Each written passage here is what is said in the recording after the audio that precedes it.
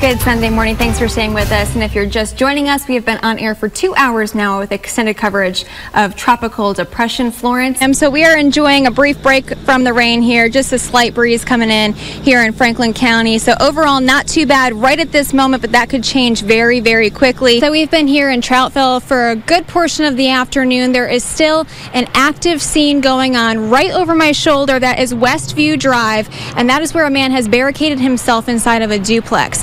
We have just gotten an update from state police that duplex was empty at the time. Fireworks are set to start around 9:15 tonight. So grab your lawn chair, grab a blanket if you want to sit on the grass. Right, and as you've been showing us this morning, there are already those little pockets of very heavy rain mm-hmm. coming through. This is just the beginning for us. The government reports the U.S. economy is growing at its fastest pace in four years. We've just learned two of the boys trapped in a cave in Thailand have been rescued. There is a river back there, but we are actually on a roadway that's completely washed away by the Blackwater River. We are on Blue Bend Road here in Franklin County this afternoon. And I mean, this is honestly probably the worst of the flooding that we've seen here in the county. There's changes rolling into the region. Ah. Sunshine, lower humidity. It's going to be fantastic. Fantastic. Yeah. yeah, I can't wait. I'm really looking forward to it. Getting So- outside, enjoying. Mhm, So am I. My hair really needs a break from the humidity. I know, right? Mm-hmm. I can't even imagine what you go through on a day-to-day basis. Gosh. A lot of hairspray. I know. Mm-hmm. I I mean, the environment, man. Thanks, Christian. You're welcome. The countdown is on. Street Pub is back by popular demand again this summer. And although it may not look like it yet, Deschutes is getting prepped and ready for a very busy Saturday here in downtown.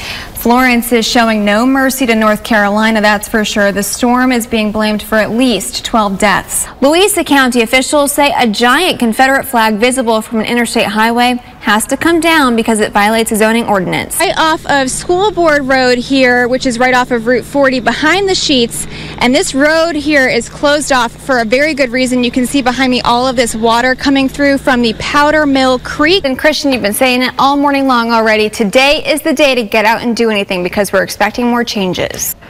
The U.S. Embassy in Haiti has a warning to Americans this morning. Do not venture out into the streets of the country's capital. A well-known building in downtown Roanoke may be getting put to new use. It was a lot of fun. The show was great. I am jealous. I really wanted to go, but I enjoy sleep. So I do, too. I think you're running on like maybe two hours of sleep. Um, There's you have no coffee idea. Have and no idea. No energy idea. drink. I don't know how you're doing it. For the people. Yeah, we still got another another week and a half or so to go. We're finishing out the month of July with these mm-hmm. hometown adventures, so lots more fun to be had catching out here. fish, flying high above, Woo, paddle boarding.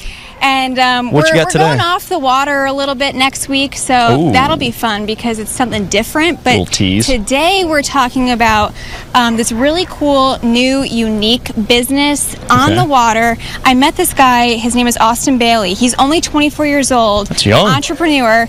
I'm literally so impressed by this young man. It's not even funny.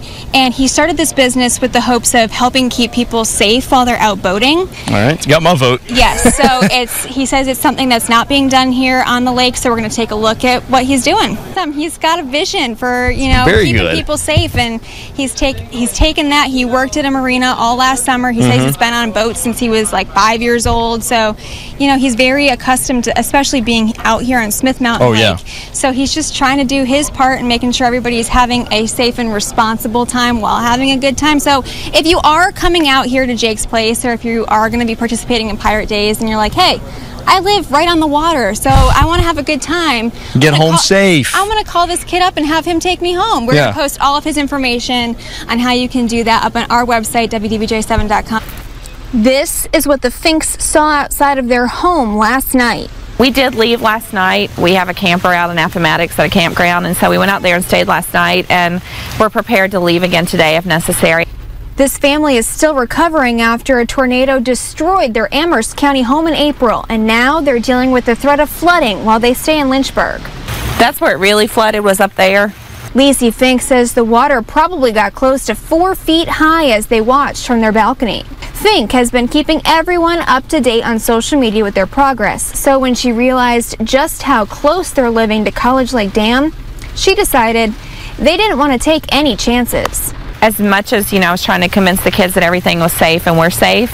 It it definitely was a little, you know, I had something in the pit of my stomach that said, you know, just make sure you're safe. But when asked what it's like for her family to go through this again, she says she's more concerned about others today. We're fine, we're safe, but I I know how it feels to have your home destroyed and I I feel terrible for those people. And after facing their own devastation, Lisi Fink says the people here in Lynchburg will come back stronger from this. You're going to see resiliency in our community in the next few days that we've never seen before. Caitlin Francis, WDBJ 7.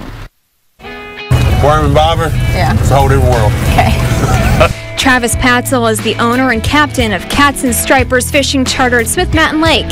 He's been fishing forever and turned it into his career. You don't normally get mad at your boss, but I do love it. Uh, it's just, it's a passion. That's what it is. It's, uh, I mean, I love every minute I'm out here. So he's showing me everything he loves about his job, and we're going fishing. Most important question is who is who's catching the fish? Somebody's got to reel them in. Hopefully, me. Okay. He uses these little babies to catch the bigger babies. Come on, babies. You got to talk to them. and I'm reeling them in. But let's take a second here and be real. Watch. I go from thrilled to get my first catch ever.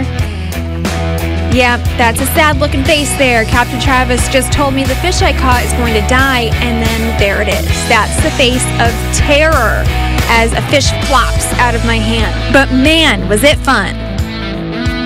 We couldn't throw that one fish back in the water. It was already going to die. Captain Travis says the combination of hot lake water and the fight of reeling them in stresses fish out. But normally, with most big fish, it's catch and release.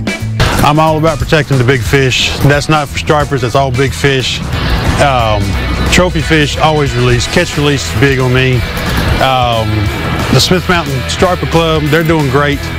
Uh, trying to release, catch, uh, trying to promote catch, catch your limit and quit, go fish for something else, go swimming. But he says even though sometimes it takes a while to find those sweet spots, the reward of hooking one nice fish, even if it's just to throw it back, is worth it.